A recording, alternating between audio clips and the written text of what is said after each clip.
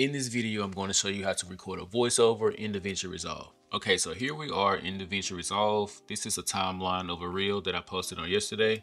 The first thing that you want to do is come up to the top and click on preferences. The next thing you want to do is go down to video and audio settings. You want to make sure that your input device is the device that you want to be recording audio into. So it's going to be whatever microphone that you're using. Make sure you click on that and then hit save. The next thing you're going to do is come down to the Fairlight tab, which is this tab here. We're going to create a new track. So we're going to add a new either mono or stereo. I always use stereo, but that's just my preference. Then I want to name it voiceover.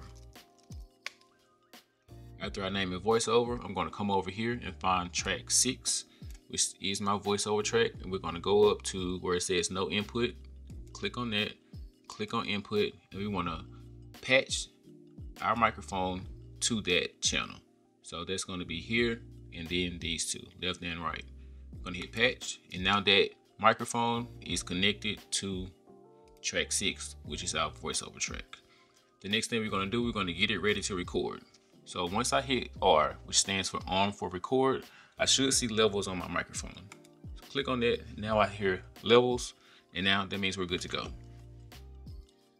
From that point, we're gonna go back to the beginning of our timeline and hit record. Once I hit record, it's gonna start recording, of course, and then it's gonna play through our timeline and I can see it on the right hand side as I talk through whatever I'm gonna say about this particular reel. Once I'm done, I hit stop. I disarm it from recording by clicking on the R button and then I can listen to it as it plays back. Now, one problem that I did have is that once I hit R here, I wasn't seeing levels over these past two days. So that's what prompted me to make this video in the first place, to help someone else out. So if you're having this issue where if you're hitting R and you're still not seeing levels, what you wanna do is check in your system settings. So I'm gonna go to system settings. Here, I'm gonna go down to privacy and security. Then you wanna go down to microphone and make sure that DaVinci Resolve is turned on.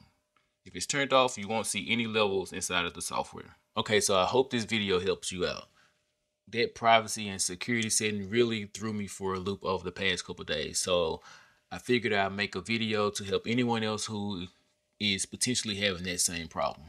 So if you found this helpful, please give it a thumbs up. Until the next video, peace.